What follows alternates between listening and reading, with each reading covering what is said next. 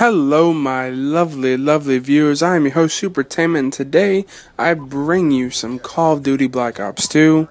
And as you can see, we're on the map Raid, and uh, yeah, I prestige my weapon. You can you can take a look at that FUPA.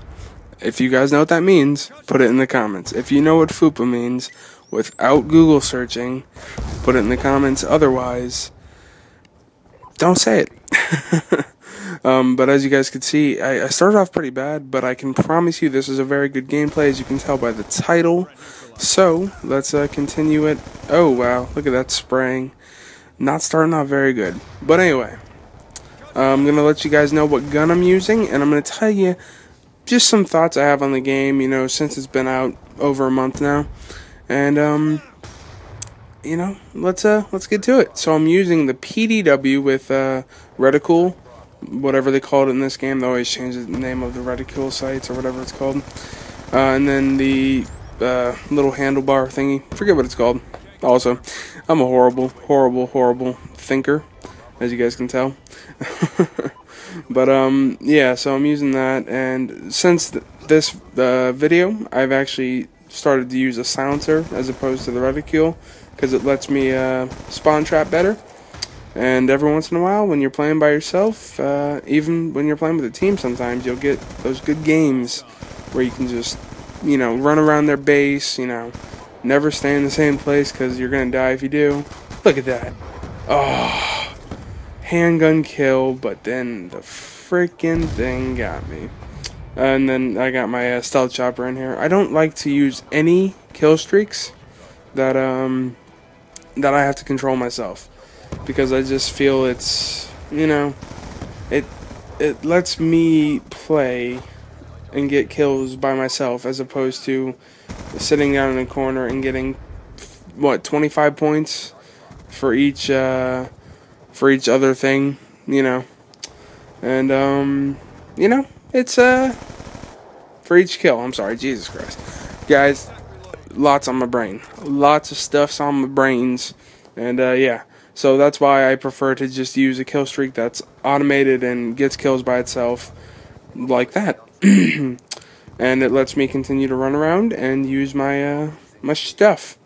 So, uh, now that that's been fully and covered in massive detail, let's uh, let's talk about what I think of this game so far after a month. And I will start off by saying it is already leaps and bounds better than Modern Warfare 3 for the simple fact that I wasn't even playing Modern Warfare 3 after a month. I had already given up on the game. It just, there was flawed everything, you know? Just nothing seemed to play right. It just did not work. And I mean, it does help that this game has uh, the zombies because I'm a big fan of the zombies. And uh, I will hopefully be, be bringing some videos for you guys of the zombies. I like to say the zombies because um, I'm a goofy guy. And the goofy guy just got a double kill. So, uh, suck on that. Aren't you proud of me, mama? oh, God. So, yeah, um, it's already leaps and bounds better than Modern Warfare 3. And there's many reasons for it, but uh, a quick one will be that they aren't adjusting it too much. See, Modern Warfare 3, after a month it had already been out, there had been maybe four or five patches where they had adjusted the effectiveness of everything in the game. And while Black Ops 2 has done that, they didn't do four or five patches. They did one, and it was minor adjustments and just a few, you know, big adjustments. And it seems to have worked out well because it's you know not um, it's not OP anymore, not as bad as it was. And I mean, I didn't really have much to complain about to begin with. Uh, the spawns, you know, it's Call of Duty. The spawns are never going to be perfect. So I got this. I steal care package, and then I kill the guy in the corner. Boom. What? What, son? Yeah. That is just skills and also my Warthog, oh, it's just in beast mode right now. It is eating up everything. It is just beasting, Marshawn lynching, if I don't say so myself. so, um, yeah. And oh, round one's coming to a close here, and oh, free points right before it ends. Yeah. So I first of all, I want to say any gameplay that I post, I will probably never post uh, a loss because I, I feel like if I post a loss, it'll just show that I'm not a team player. That I was willing to get hundreds of kills or whatever. And yes, I know I'm not moving right now. I'll explain that in a second. but it shows that I was willing to get a bunch of kills and not do anything for the team. And for that reason alone, I will probably never post a loss on here, and, and also because, frankly, nobody wants to see you lose after having a really good game. And, you know, it is what it is. Anyway, uh, the reason I was standing still like that was because uh, I had to do something real quick. Uh, someone knocked on my door, and I just had to run for it. And I literally sprinted up and down stairs. You guys would be proud of me. You really would. so, you know, it's just another thing with this game. I, I kind of like the maps better. The maps don't feel as dark and grim and gritty. I mean, yes, we do have the patented gray and black and just straight up darkness and sadness everywhere and sandy desert stuff but they try to mix it in. I mean for look at this. A basketball court? Really?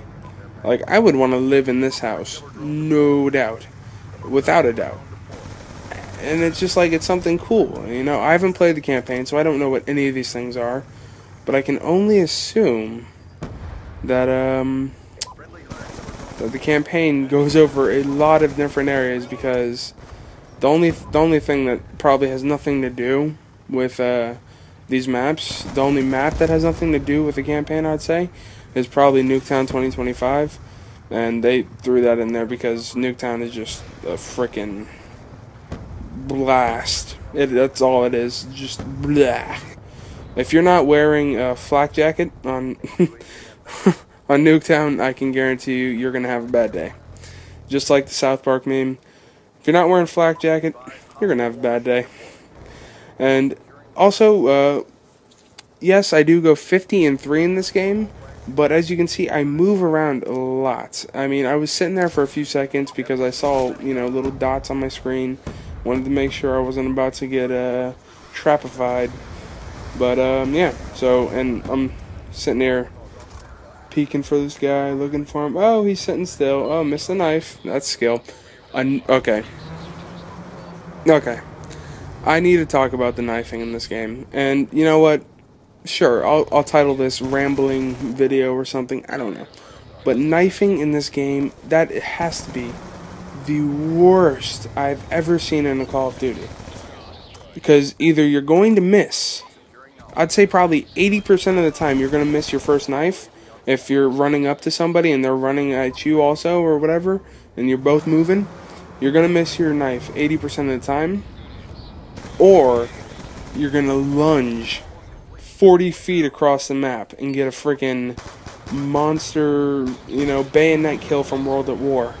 And it's just, that's one thing they desperately need to improve because it is just driving me absolutely nuts.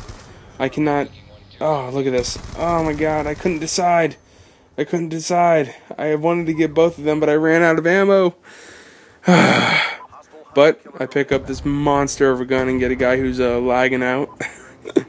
and I'm just on a I'm on a killer killer kill streak. I mean, well, kill streak, score streak, whatever. Whatever they like to call it now for the uh, for the objective players like myself.